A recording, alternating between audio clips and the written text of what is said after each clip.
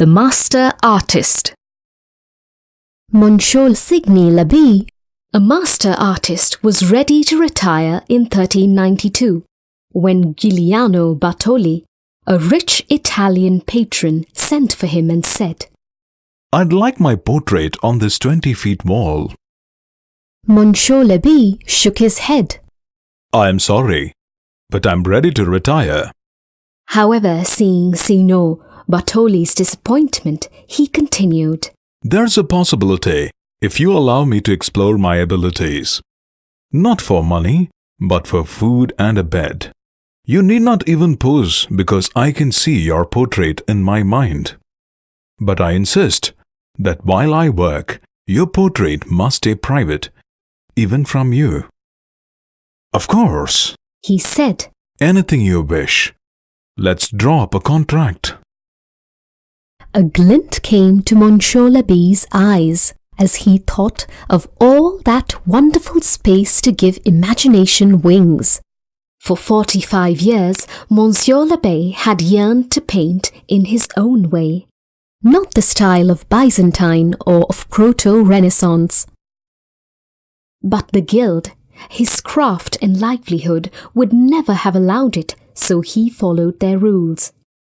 Signing the contract, the artist threw a high curtain in front of the wall. Signor Bartoli tried to peek, But Monsieur Labie insisted on total privacy. a week passed. How is it coming along? asked the hopeful Signor Bartoli. Answering him from behind the curtain, Monsieur Labie said, It's coming along quite well. You know, at eight I was apprenticed to the great Ambrogio Lorenzi. He taught me the art and not to hurry. a month passed.